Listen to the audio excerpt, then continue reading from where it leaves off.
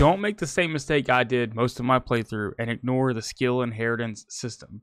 Inheriting skills allows you to take skills from other archetypes you've unlocked and put them on another archetype at the cost of some mag, of course. Stuff isn't free.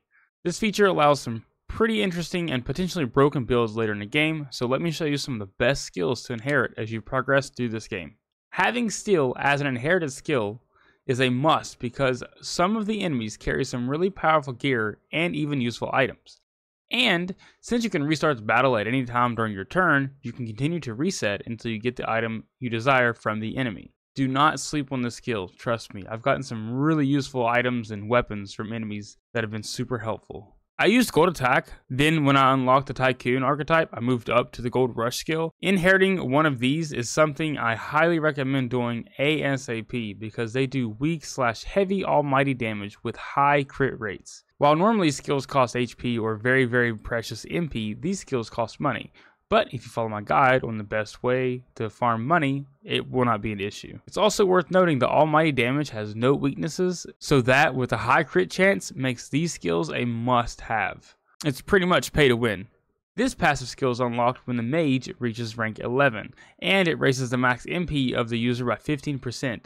And because MP is so useful and hard to recharge while in a dungeon, having a bit more is never a bad thing. Because MP is so important in Metaphor ReFantazio, it's definitely important to have this inherited on all of the party if you can.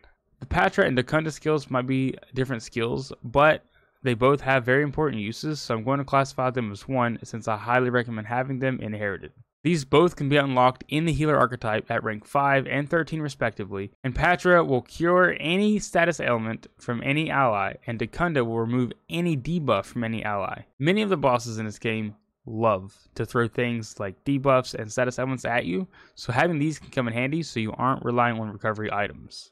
Unlocking the wizard archetype is a must, and I stand by the fact that the mage and wizard archetypes are probably some of the best archetypes up until late, late in the game. With the wizard archetype, you have access to upgraded elemental skills like Botra, Blizza, and Kandera, which is medium, fire, ice, and electric damage. These only cost 10 MP and are unlocked at wizard rank 1, 2, and 6, so get these ASAP.